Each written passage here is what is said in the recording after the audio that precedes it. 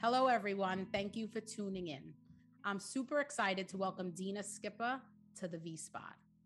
Dina is the founder and CEO of Enough Labs. She's an empowerment coach, a gender equality advocate, a motivational speaker, a goal crushing boss, and the title I'm most grateful for friend. Dina, thank you for joining me in the V Spot. I am so grateful to be here. Don't mind me, I'm just like tearing up, already getting emotional. So I know where this is going. no, so happy to be here, Andrea. Seriously.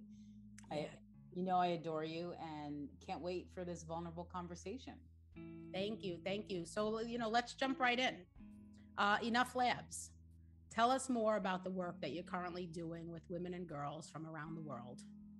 So, yeah, I mean, Enough Labs was created three months prior to the pandemic based off of a vision that I felt was placed on my heart to create a space uh, in the form of a coaching practice, but beyond that, like through authentic, connected conversation um, around the topic of enoughness. I think there mm. a universal story that women and girls experience as a result of not feeling enough in some shape or form. And I've had the honor and blessed opportunity to be able to travel to over 30 countries around the world as a gender wow. advisor working in the international development space. And what I found is through my work, I felt like I was holding hundreds and hundreds of stories of women and girls throughout my travels. Mm-hmm. And this conversation around not feeling enough, for me, from my perspective, transcends borders, cultures, context. Uh, it might look different. It might feel a little bit different based on age or, you know, ethnic background or, or whether you're in a city or in the rural areas. But we're all going through a very similar story. And it's always struck me how how much more alike we are than different.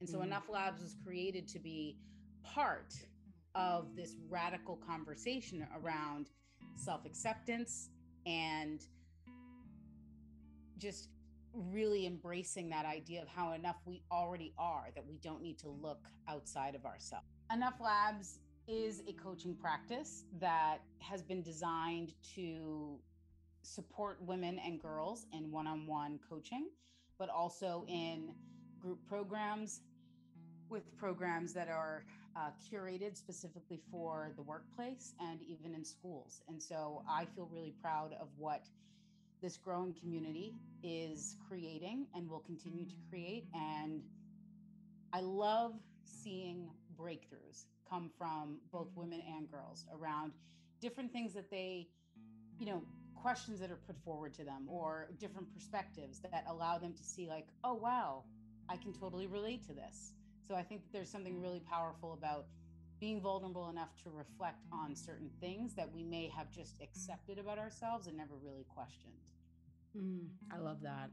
I love that. So, um, in honor of moving backwards from where where you just were, and something that I thought about before, uh, you love seeing breakthroughs. What about having breakthroughs in this particular re- regard? Meaning me personally? Meaning you personally. Got it.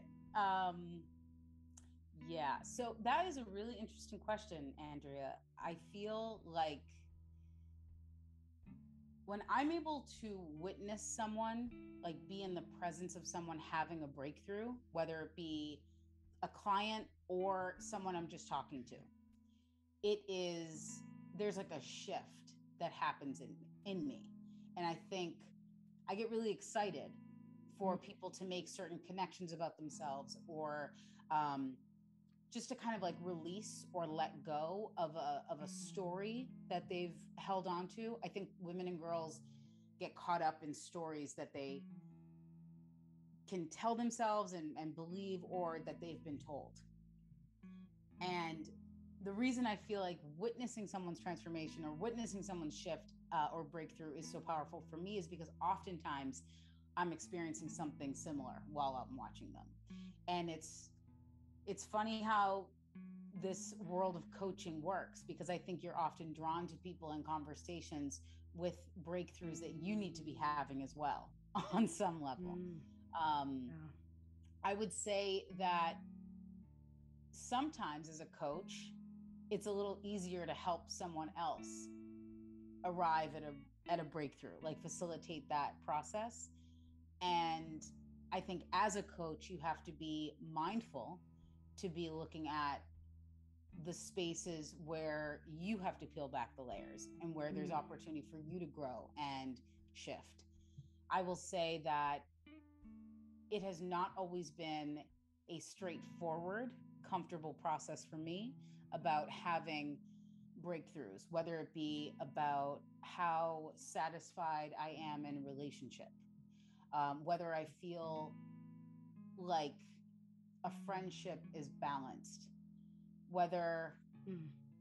like how I truly feel around how I'm showing up at my job versus what I'm really feeling called to do.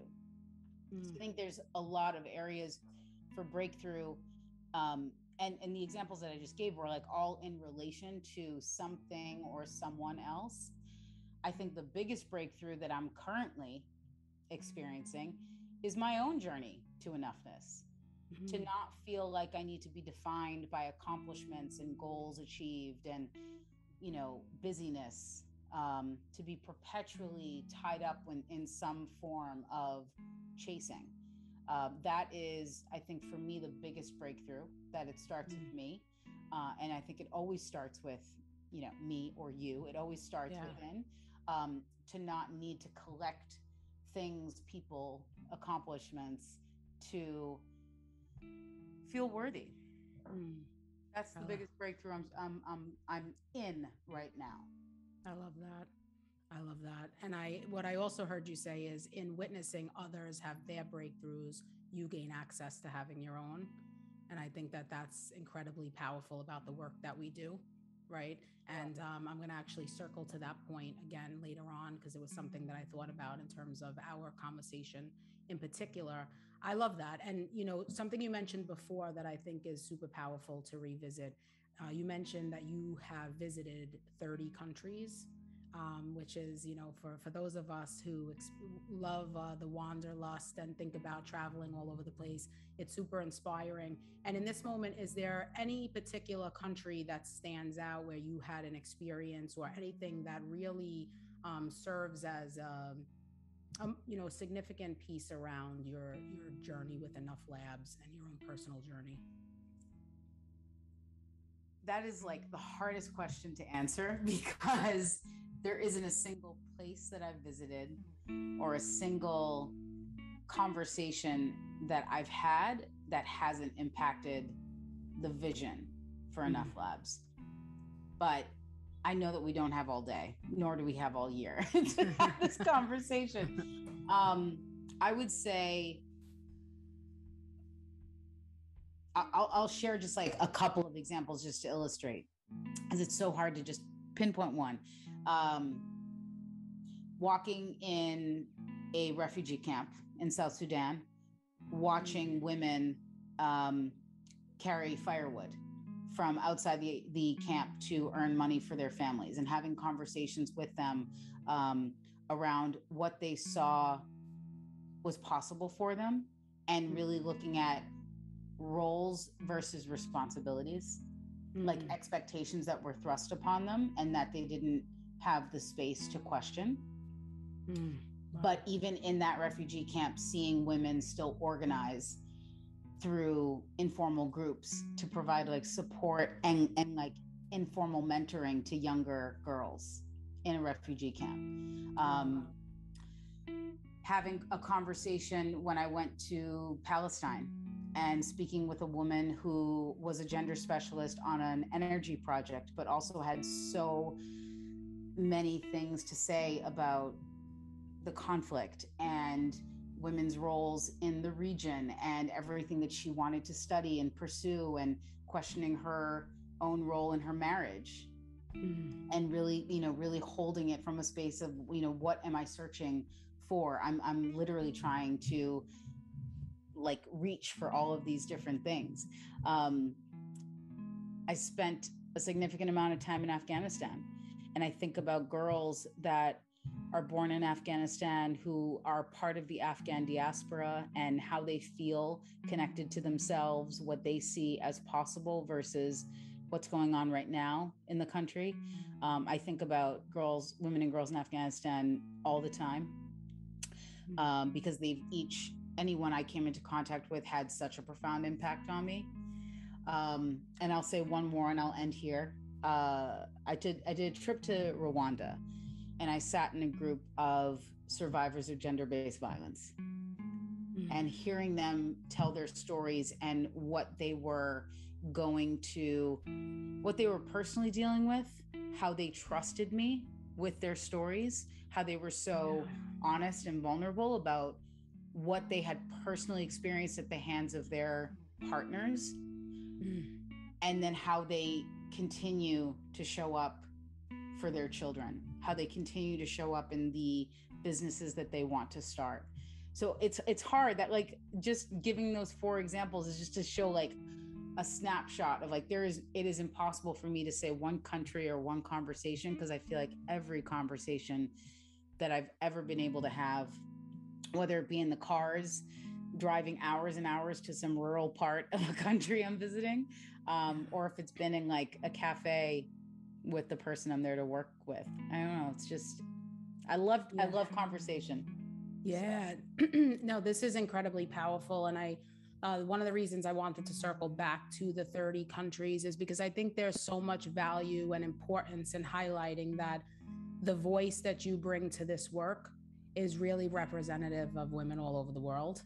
And um, when you speak and you are actually sharing of your process and the magnitude of the narrative that enoughness holds, you're not just speaking for you and your experience. And I think that um, you're right. There's not enough time. And, um, you know, unfortunately, to be able to capture every woman's voice in this particular conversation. But I, I thought it was really important to highlight that when you speak, you are speaking on behalf of countless people, women and girls that um, we will never meet. You know, so so I just want to highlight that and say thank you and um, for powerful examples. You know, and I look forward to hearing more uh, offline for sure. Um, so yeah, so you're currently doing a 40 to 40 countdown on mm-hmm. social media as you prepare to celebrate your 40th birthday on October yeah. 10th, which is very, very exciting. Um, and so in honor of your countdown and your upcoming birthday, let's stroll down memory lane together. So we're gonna rewind.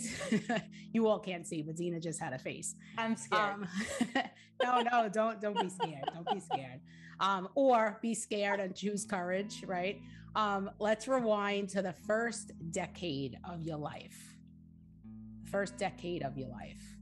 So, would you be willing to give us a glimpse into the lab that is your life and share a memory that you can see now was one of the most, like the first times I call it, um, where you were made to feel that you weren't good enough?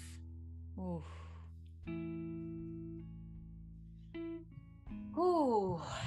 So we're so we are rewinding the clock and looking at the first decade of Dina's lab um, to get a glimpse of anything that stands out as a potential first memory where you were made to feel or experience the feelings of not being good enough.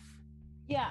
So, I mean, I love the question. I love how you talk about my life as a lab because I oftentimes refer to enough labs as experiments and possibilities. That's really what the whole crux of this was. So, my life is definitely a lab, one that I explore. And part of the reason that I created enough labs was because of this research that signals to the fact that a girl's confidence peaks at age nine. When I came across that research, it stung.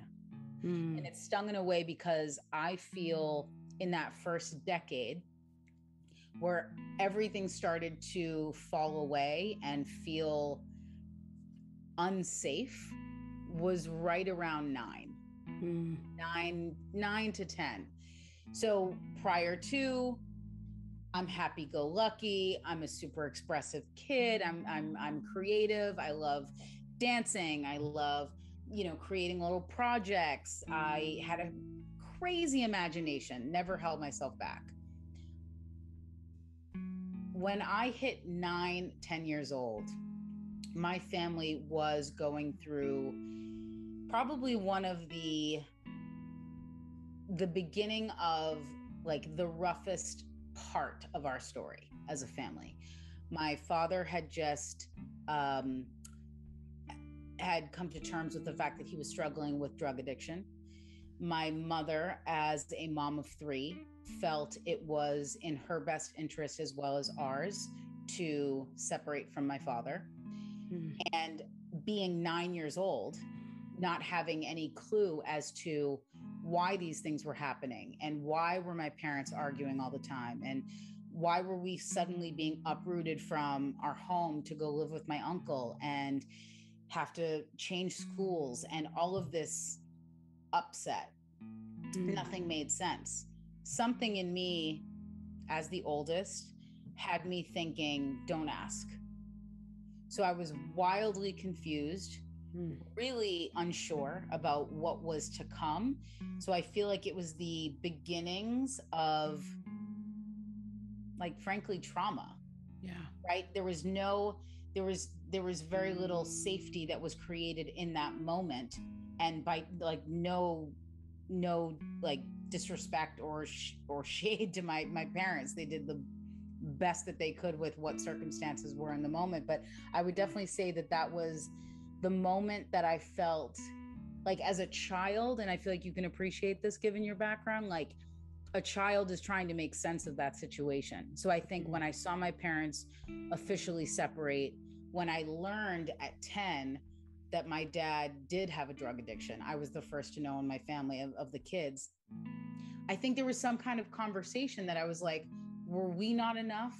for him mm. to stay healthy was I, did i do something wrong and i think that that narrative of like i'm wrong or i'm bad like has sort of like manifested in a lot of different ways and i think that that's the origin coupled with the fact that you're going through puberty and you know all these things are happening in a girl's body yeah. um, so you know not easy times uh, and i was an, an early developer like in terms yeah. of my body um, right. so yeah i think it was it was like a perfect storm but I, I would definitely say at nine was the first signal because prior to that everything was ostensibly smooth sailing you know mm. great family great um sibling relationships we were having fun we were playing with our cousins and then boom everything switch. changes yeah yeah thank you thank you for sharing that um and thank you for pointing out the age, right? Because when you said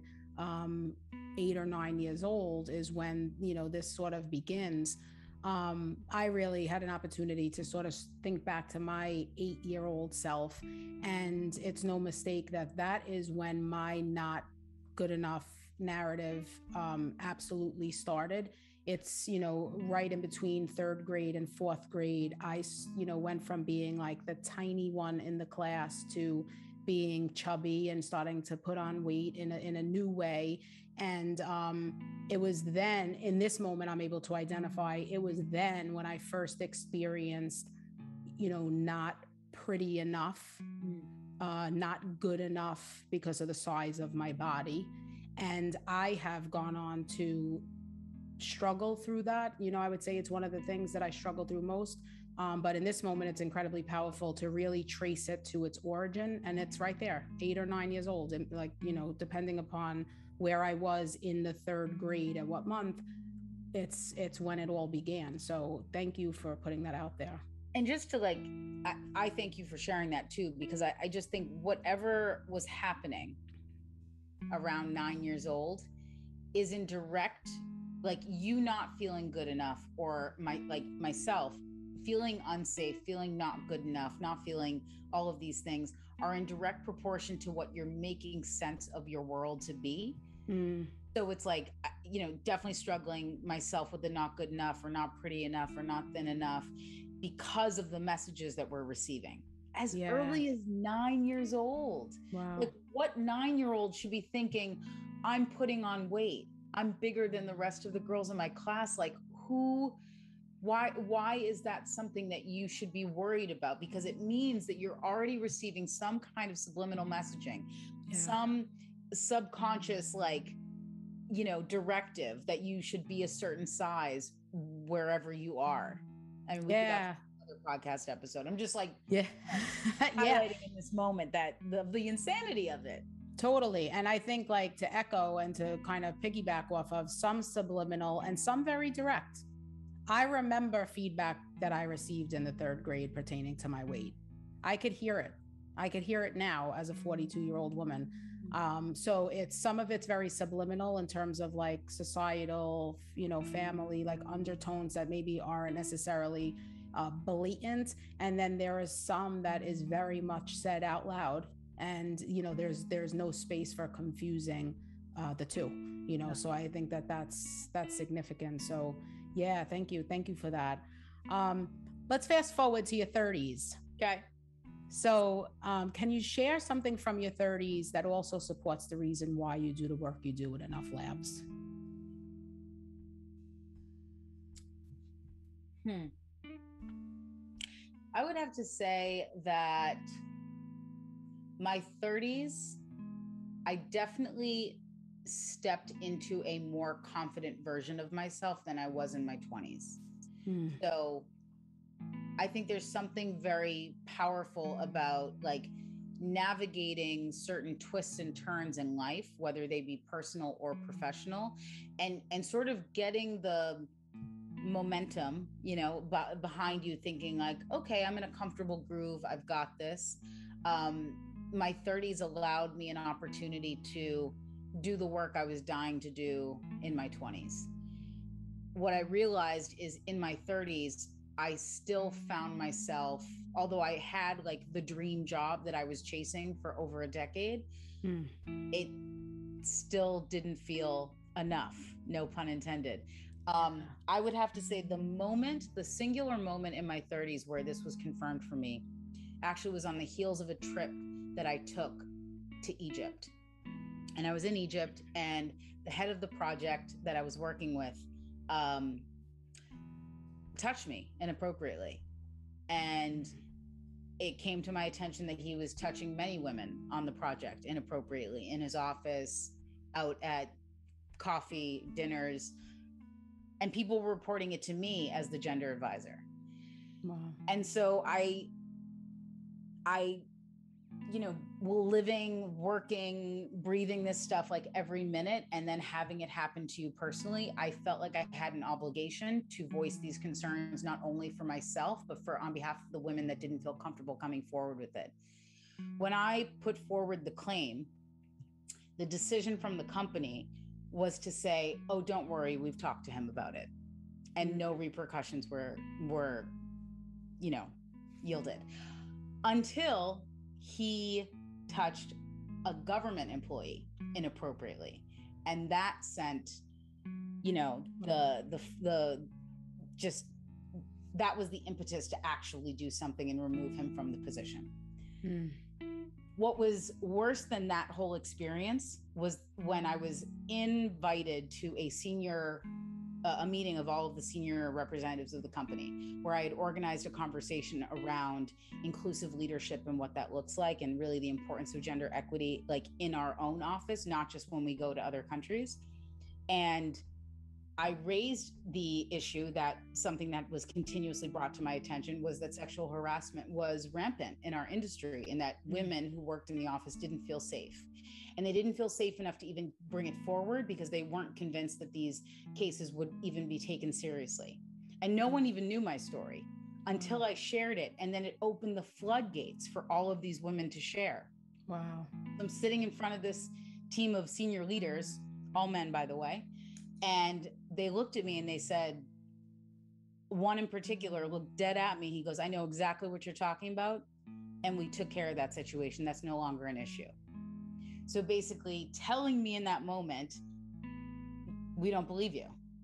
Mm. Or, you know, like that's not an issue here. basically minimizing my whole experience. It was in that moment, Andrea, that I was like, I am sitting here waiting for these mm. leaders to show up in the way that I'm expecting them to, because this is the type of organization that I want to be a part of. And I'm not passive in that way. And I'm realizing I'm just sitting around here waiting for them to to model leadership that I can be proud of. I would much rather create my own outfit. To, to wow. stop waiting to, to for leaders to step up and allow myself to step up because I was mm. so frustrated by having conversations with people who just weren't interested in hearing it because wow. it it's it rocks the status quo. Totally. Wow. Wow. So okay, a couple of things. I quit um, that job that day. wow. All right. Listen, you know, that's there's therein lies the celebratory um, you know, action step around that piece. So I mean, first and foremost, you know, thank you for for owning your your truth and being willing to share it here because I do believe that um, speaking your truth paves the way for other people to speak their truth as well. So you know, thank you first and foremost, um, and the vulnerability involved in in sharing in that way.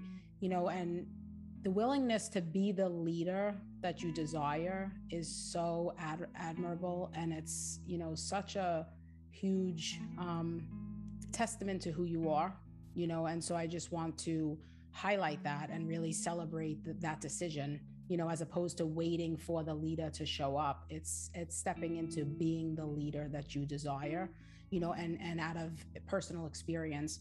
You know and again i want to highlight this like magnitude of being a woman who is simultaneously having your experiences while holding space for other women to have theirs and so, you know, second time it's sort of coming up in this particular, you know, conversation. And I think that uh, it's worthy of being highlighted each time because it's, it's not for everyone to do. And the fact that you chose to do it is, is huge.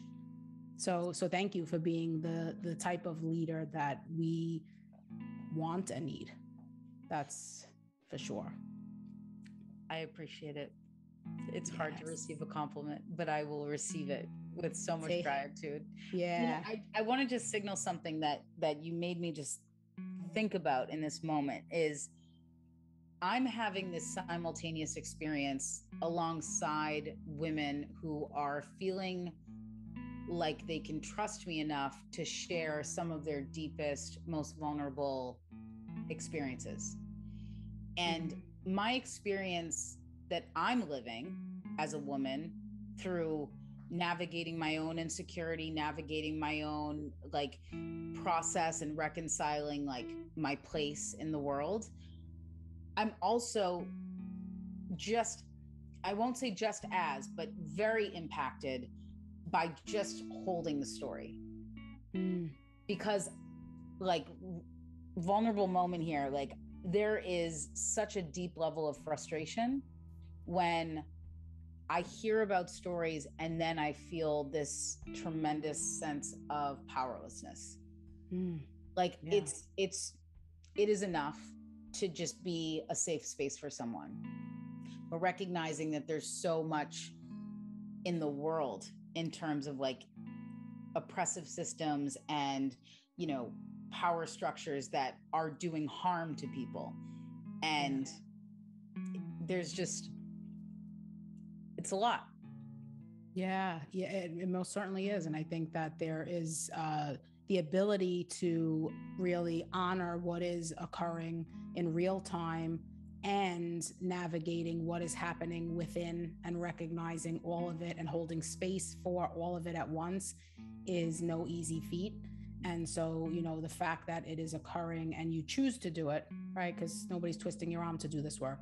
The fact that you choose to do it is is a testament to the type of leader that you are. Um, so kudos to you um, for doing what is not easy work and doing it day in and day out by choice because it matters that much. You know, so that's that's huge. Um, and no mistake that you know one of the next things I wanted to ask you was and sort of highlight is the fact that I know your work is designed to empower women and girls but let's actually talk about the men and the boys. Mm-hmm. And so I've worked with countless men and boys who struggle with not feeling smart enough, good looking enough, successful enough, strong enough. So, what would you offer to the boys and the men who are listening to this podcast and are presently struggling with not enough feelings?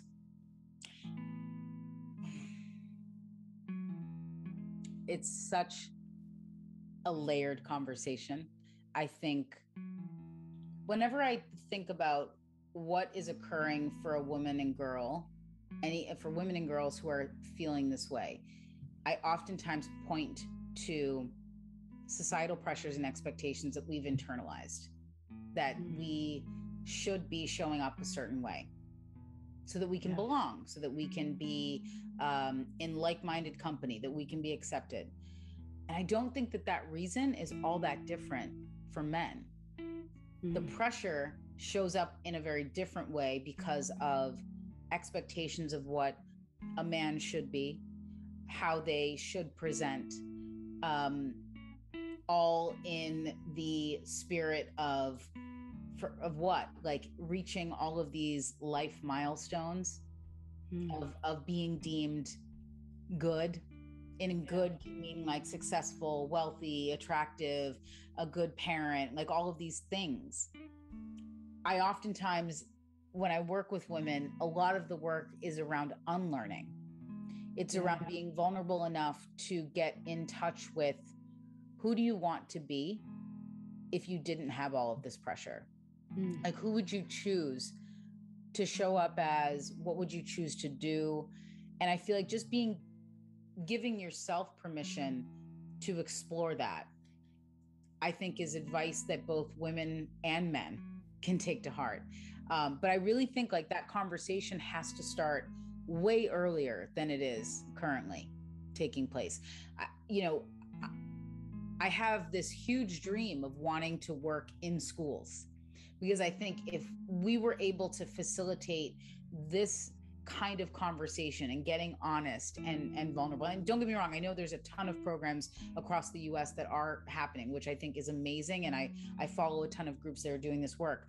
Um, but i know that it's not happening in every school.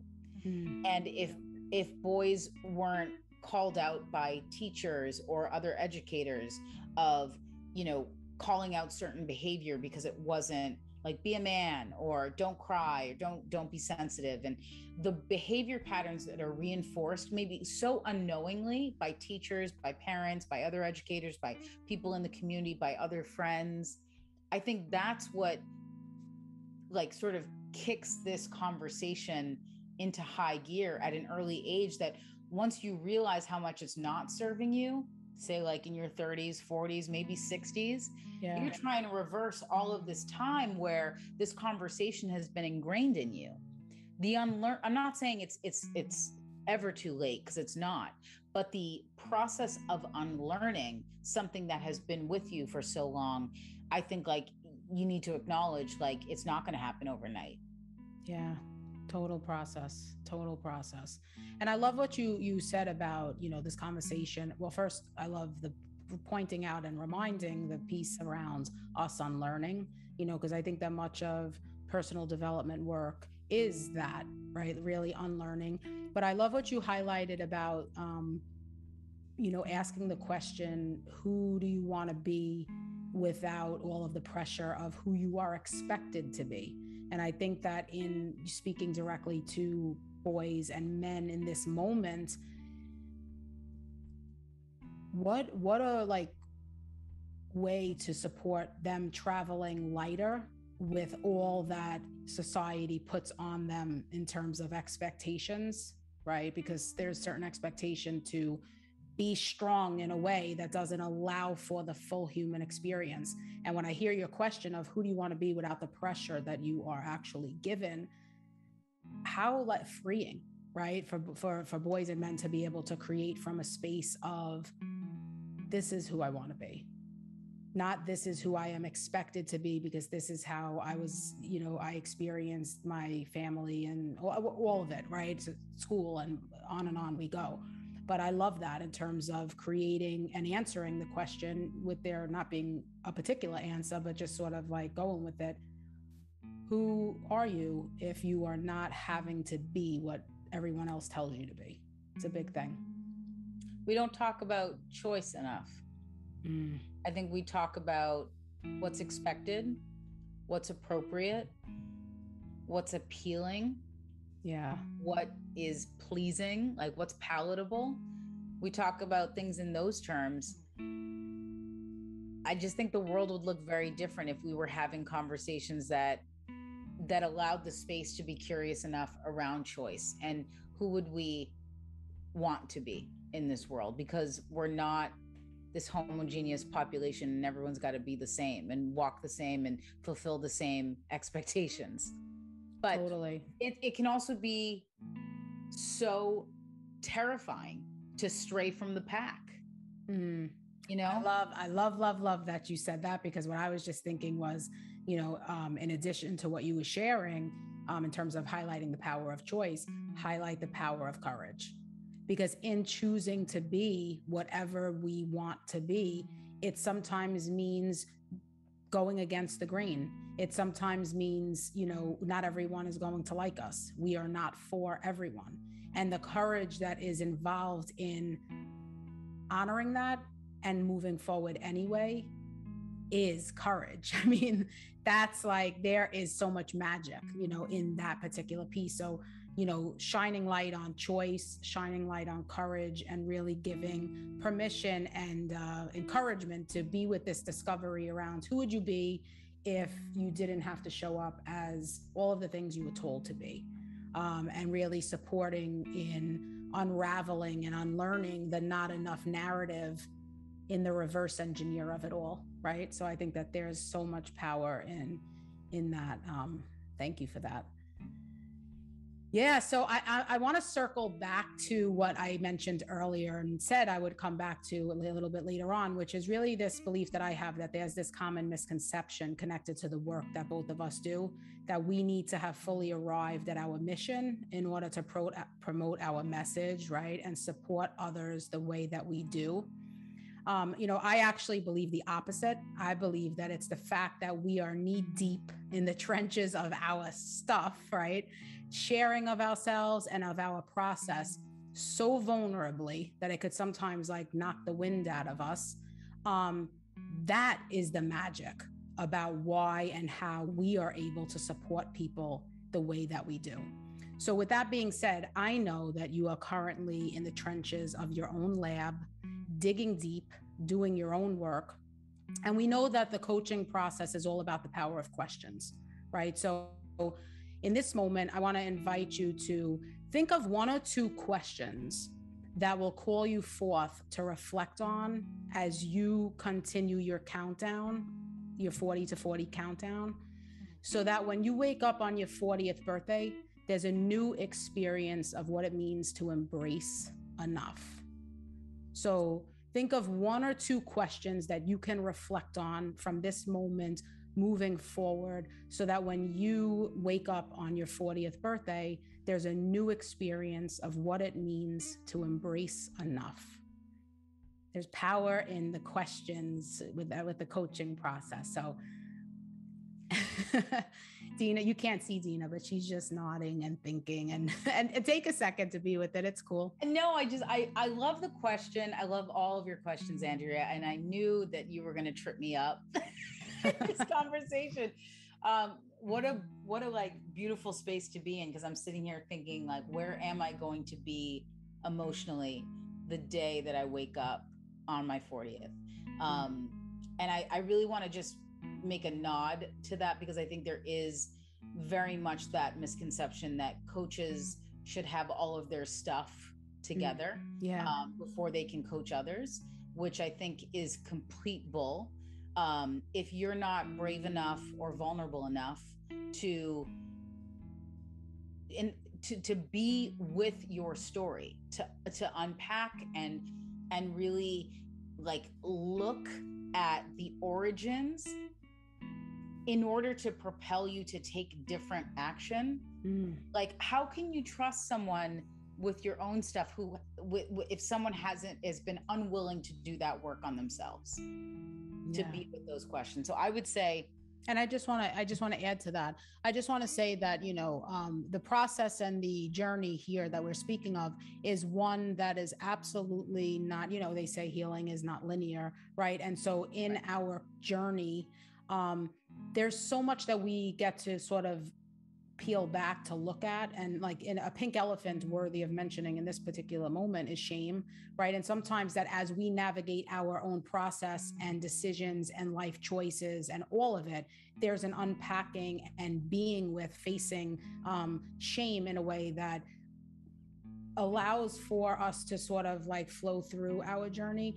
Um, and this is all being done simultaneously to holding space for other people yeah. and so i just think that it's so important to highlight that you know as someone who does the work that you do um, and as someone who does similar work with you know from my standpoint it's really about us like rolling up the sleeves and being willing to get into the trenches and like figure out stuff out and hold space for people to do the same versus ta-da here I am, and now I'm holding space for you, you know. And um, I think there's so much power in highlighting that because it just really outlines the magnitude of commitment to this work that you know we show up to hold space for people at the same time that we are potentially staring our own shame in the mirror and being with our own experiences you know and nonetheless here i am and I'm giving it my all because this matters to me. So I just, you know, I wanted to uh, uh, like highlight shame and just really um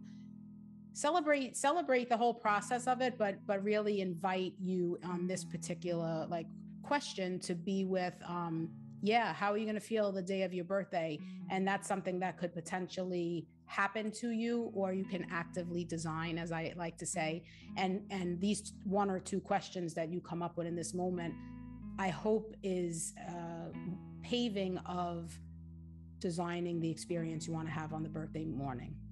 So I got my two questions. Yes, yes, go for it. Question one would be is what does your decade of 40 look like if you let go of control? Mm.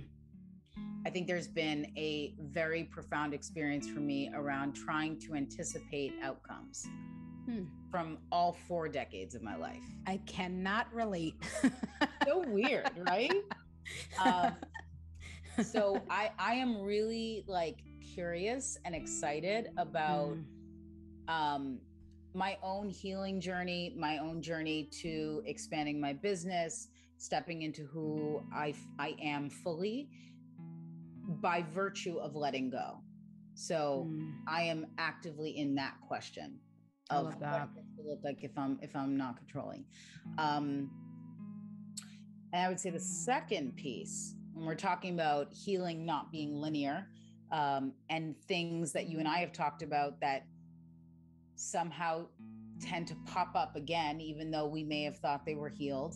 Um, yeah and and on the heels of that piece that you just mentioned around shame my second question would be what would it look like if you actually truly forgived yourself mm.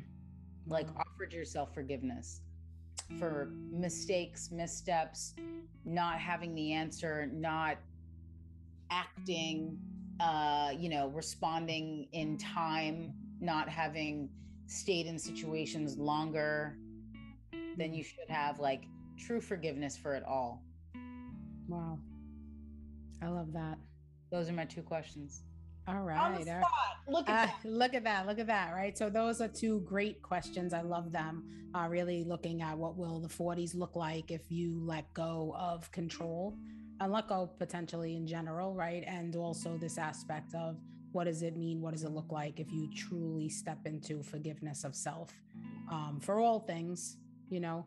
Uh, i love that. And so um, the the invitation is to be with those two questions as you continue your countdown um, so that that you know on your birthday morning there is a different experience created. Uh, so I, I, hope that is something that you are willing to try on. Um, thank you for that Thanks for the gift. Yeah, way and way to go in terms of like great questions in the moment. Um, for for our final piece, let's do a speed round. Okay. Um, so I'm going to call this the forwarding four. So I'm going to ask you four questions and you will answer quickly with the first thing that comes to your mind. There's no right or wrong answer. It's just really about giving yourself permission to uh, share your automatic response um, and potentially forward someone who is listening to be with it.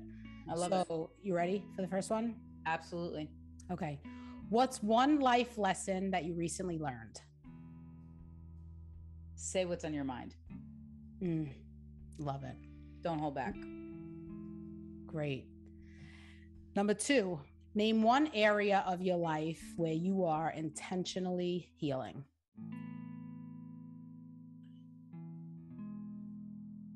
My relationship with myself and how I see myself. Great. Number three, share a song you currently have on repeat.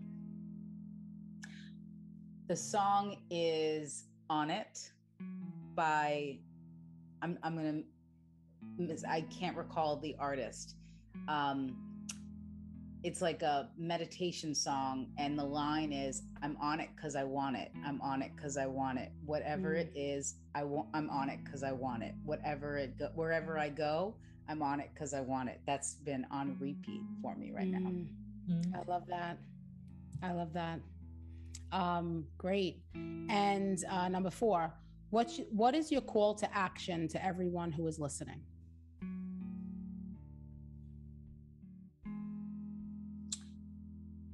Give yourself the space to actually truly listen to your intuition. Like mm. build that foundation of trust within yourself as opposed to needing to look outside of yourself for validation, approval, and like being affirmed that you're on the right path. That would be it. my forwarding advice. I love it. I love it. All right. Well, thank you, Dina. Thank you for for being a yes and joining me in the V spot. Thank you for your courage. Thank you for your generosity, um, but most importantly, for your vulnerability. You know, um, thank you for creating and holding space for me and other women and girls to journey alongside you as we all embrace enough. Um, so tell folks where they can find you. What an honor. Um, thank you for this conversation. I definitely feel, whew, like I, I feel like I shared vulnerably. There's so much deeper to go, but um, thank you for creating the space for sure. Um, if those are listening are interested to get in touch, you can find me on Instagram at Enough Labs or um, the website is www.enoughlabs.com. Uh, always willing and ready to have a conversation about enoughness.